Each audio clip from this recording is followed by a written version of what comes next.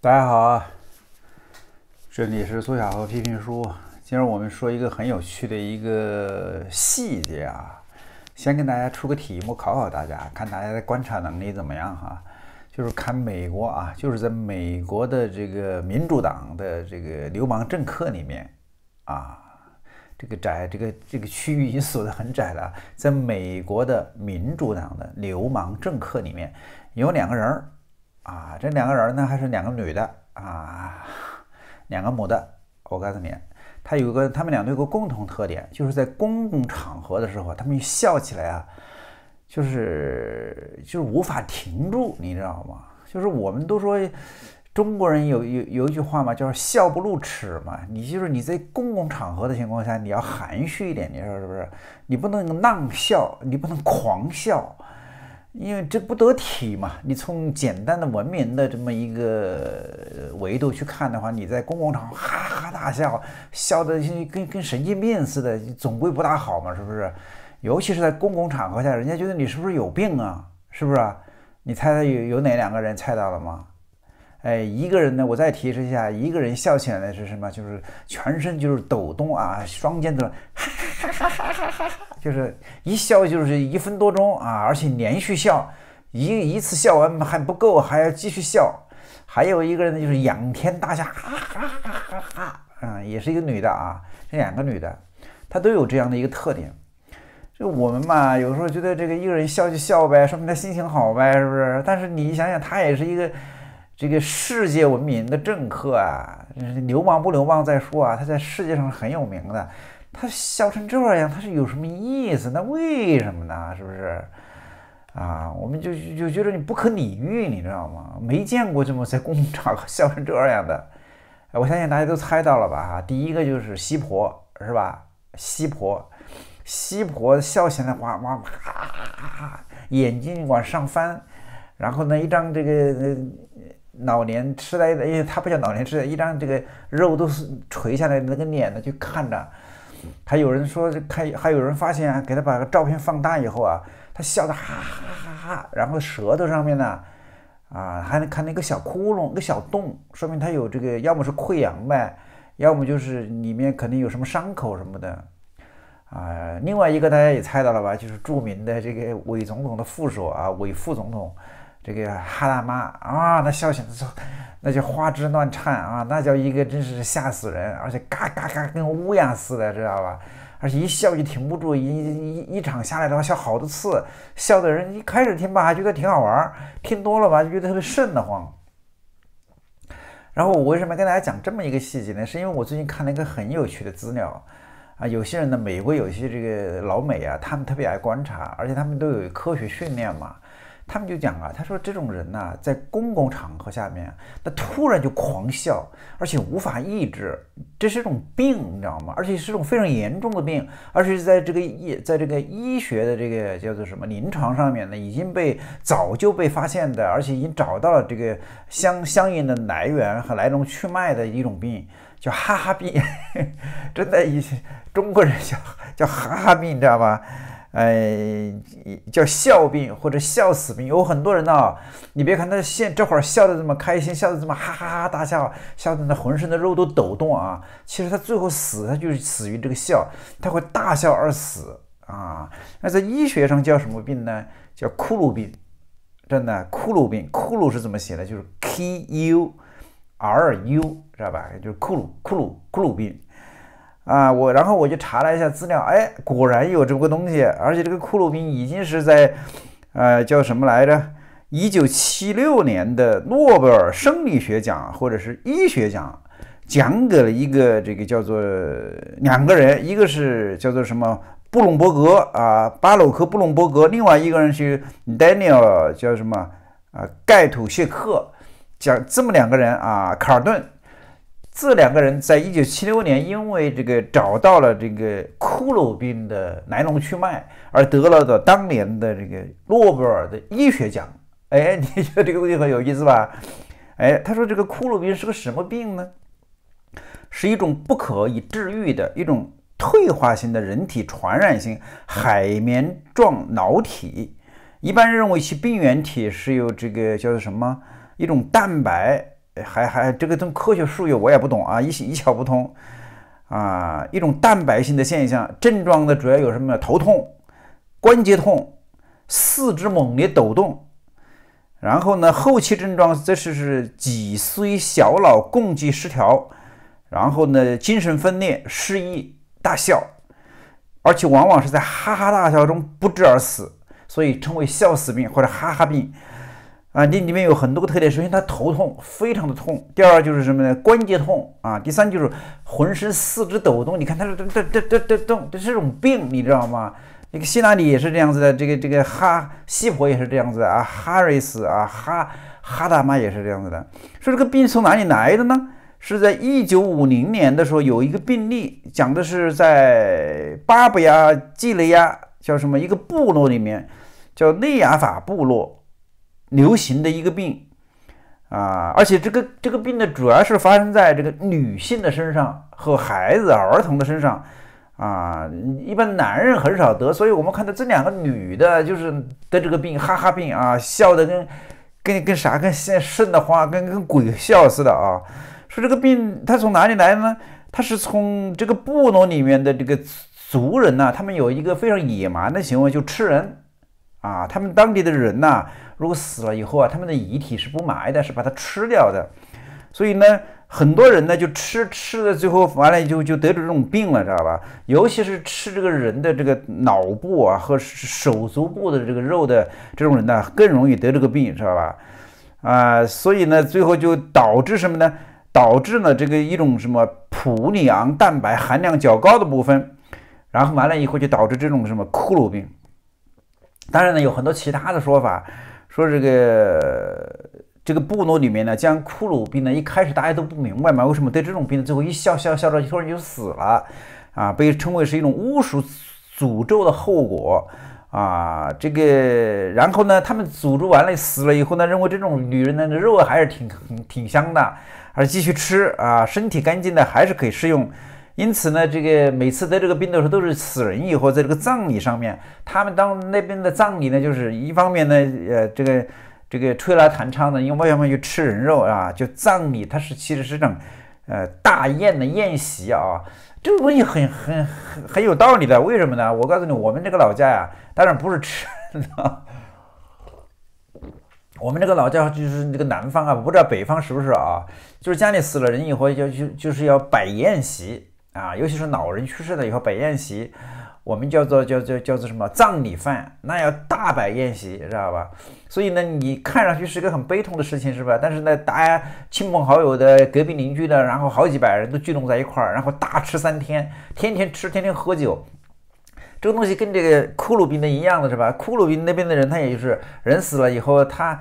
呃，不是说哭哭啼啼的，不是像西方的葬礼一样的啊，然后就请个牧师来祷告啊，然后就来安葬啊，然后呃摆一把鲜花，不搞这些事情呢，就是吃，是吧？它很很有意思啊。然后这个这两个科学家啊，就刚才说德罗杰两个科学家，一九五七年呢，他们就深入到这个部落啊，叫法雷部落，就一边呢就学习当地的这个那种语言呐，一边呢就是呢开始呢记录他们那边那些人的生活方式。啊，然后呢，就找到了这个骷髅病的一些详细的资料，啊，所以说他说当地人在无知下对骷髅症上的诊断其实很有科学根据的，其精准度几乎可与现代科学诊断相比拟，啊，然后说这个说这个病呢得了以后呢，有有有有三个阶段啊，的第一个呢还可以就是走路。哎，所以有时候，但是走路走的非常不稳。哎，所以我们有时候有时候在视频里看到，说这个希拉里这个人呐，走路是走不稳的，经常会摔倒，知道吧？他经常会下楼梯啊，或者是走路摔倒。所以我们看到好几好几个视频在转希拉里的视频啊，说他这个有一次上车，一个黑色的一个一个大的一个 SUV 是吧？然后上车，然后突然就来了两个男的啊，后面还有个女的，三个人把他架着。就把他抬到那个车里去了，所以很多这个爱国者啊，很多川普的支持者就说这个希拉里是被啊军队抓起来了，送到这个是关塔那摩去了啊，所以希拉里现在现在希拉里都是假的啊。但是另外一种说法，我觉得可能更有道理啊，就是希拉里他因为得了这个骷髅病，他可以走，他有的时候没事儿的，一阵儿一阵儿的，知道吧？但是呢，有的时候突然就就是重心不稳，就是摔倒了，腿没劲儿，然后呢，然后必须要有人把给他给他架着，是吧？就是所以这是属于第一个阶段，就是有一些行动能力啊，还可以坐，还可以走，知道吧？第二个就是什么呢？就是如果一旦坐下来以后就站不起来了，我跟你说站不起来了，哎，有很多人站不起来，所以呢。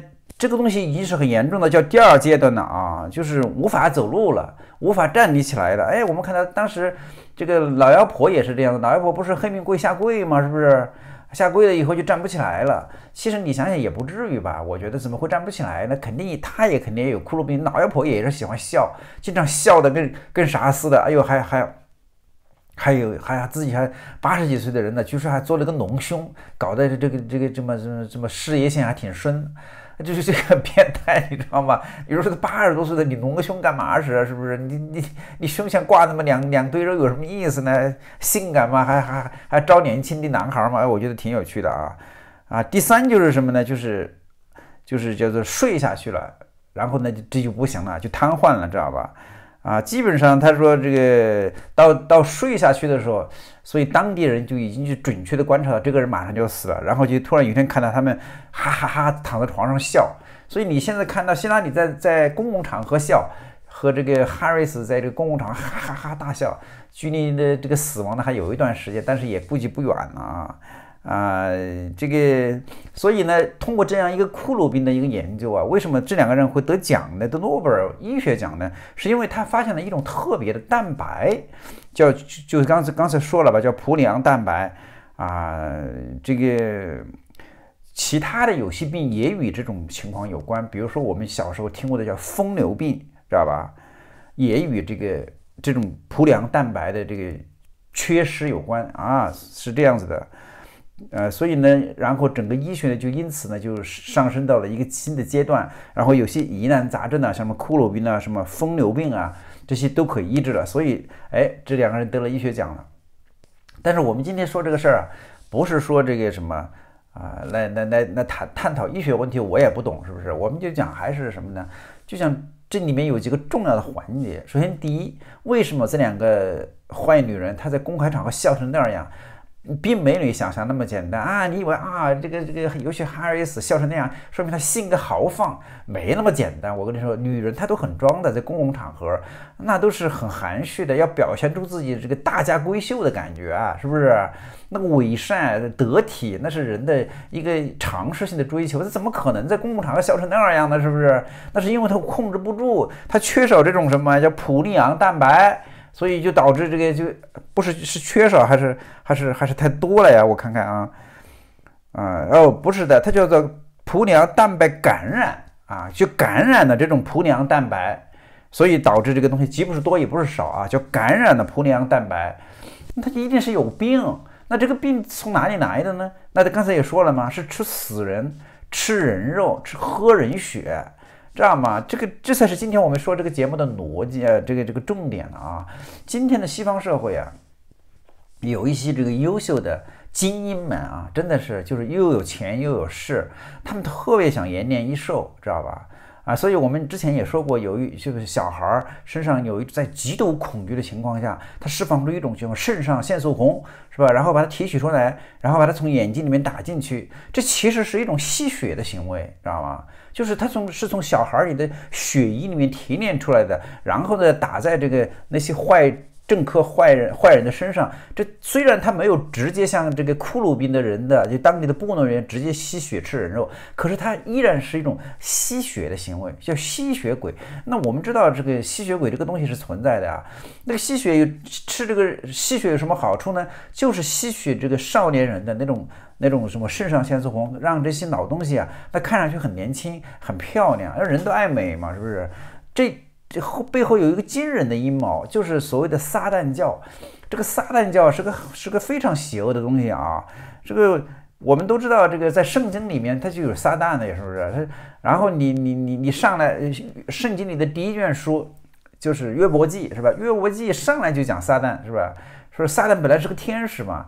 完了以后呢，是堕落天使嘛？然后他跟上帝对话，是，然后他就说你你的，他对上帝说你这个你的一个一个一个好的一个门徒啊，一个好一啊叫约伯啊，他看上去很是个艺人呐，可是他不见得啊，我去实验他一下，哎，上帝允许他实验，这个很这就是约伯记嘛，上来就有一个巨大的一个场景，一个一个上帝和这个魔鬼和撒旦。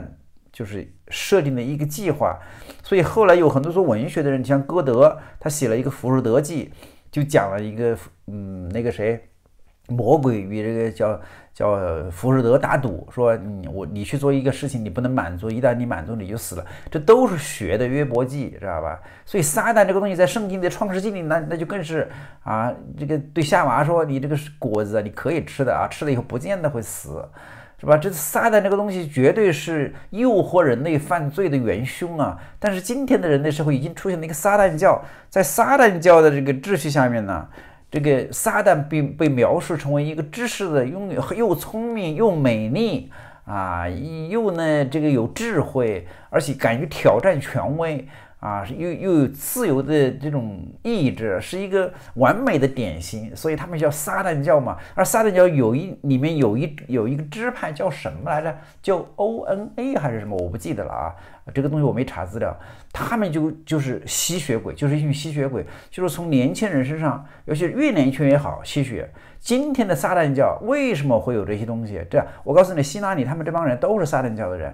这个世界上大多数的精英啊，什么奥巴呀，什么什么什么什么什么，哎呦，这些个那些个的，我告诉你，他都是啊，都是这些东西。为什么那个叫什么爱泼斯坦，他搞了一个一个性爱小岛？你以为那些人过去就就是我完全是为了一点性的满足吗？性的东西，这个东西在他们看来已经很低级了，知道吧？他们去那里主要是。啊，吸血鬼搞这种事情，这才是真正可怕的事情。你说，你说你要你要搞一个什么变态？你说罗马的那帮那帮呃天主教的那帮家伙，他在在在他们地下室，他也搞这些事情，他犯不着也要飞到那个小岛上面去，你说是不是？哎，所以很有意思啊。从这个骷髅兵到这两个流氓政客啊，哈哈大笑，这么各种奇形怪状的那种公共行为，你会发现这背后的水深着呢。我跟你讲。所以呢，我们呢都是小老百姓，我们都不知道这个人呐坏起来比你想象的要坏得多，你根本就无法想象这个世界一些人到底有多坏。可怜的就是我们这些韭菜，我们这些老百姓啥都不知道，就被他们忽悠，知道吧？哎呀，就是真的就是圣圣经里面讲的，这是这个世界是魔鬼掌权呐，真的是有些事情你无法想象。所以呢，我就今天跟大家讲这么一个。啊，骷髅兵的来龙去脉啊，然后讲讲这个美国的这个政坛呐，为什么今天搞成这样？为什么川普总统会被他们赶走？而且有很多很多的东西，他们有一个巨大的你你无法想象的势力，超级巨大，真的是，说起来真是要说好多好多时候，所以我们以后有机会我们再说一些很有趣的事情。谢谢大家。